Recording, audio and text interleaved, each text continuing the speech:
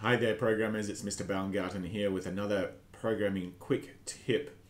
Today I want to look at integer division and the modulus operator, something that I find beginner programmers get quite confused about eh, in terms of what exactly is going on.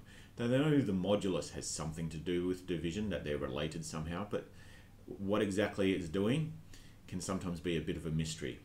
And so when this happens, sometimes the best thing to do is just to experiment and print a whole bunch of informa information using the operator or using whatever instruction it is we're trying to figure out and see if we can work out what the pattern is as to what it is doing.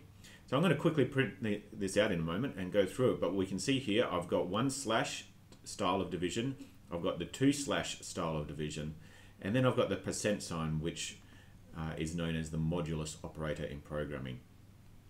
And I've got, uh, so I'm dividing by 5, and I've got the numbers 0 through to 15 happening across all three types of operations. So let's see exactly what's going on with them, shall we? I hit run. Okay, so the first one, first column, the one slash, this is the type of division that you would normally get on a calculator.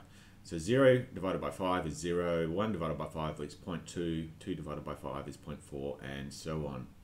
The second column with the double slash uh, truncates off, chops off the decimal portion. It just tells us how many fives go into that number.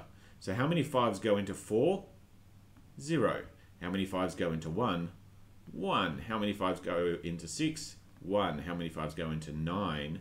1, how many 5s go into 10? 2, and then through to 15. The modulus tells us how far off being evenly divided by 5 that was. Uh, in primary school or elementary school, you might have called this the remainder.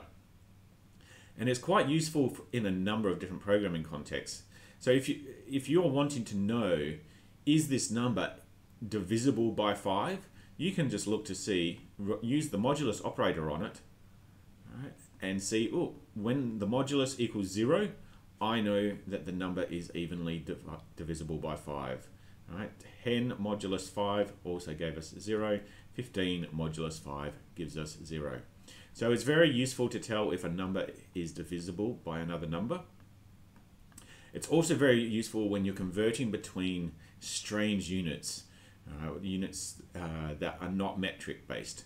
So for instance, if I had 10 days and I wanted to know how many weeks and how many days that was, right, if I print out 10 division uh, into division 7, and then if I print out 10 modulus 7 and run that, right, that will tell me that 10 days is one week and three leftover days.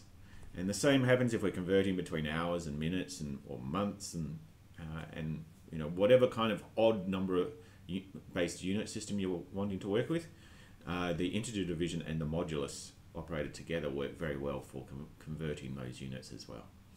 Anyway, I hope that's helpful. All right, just print a whole bunch of values and see what the pattern is, and um, these things tend to become a little more clear. This is Mr. Baumgarten signing out.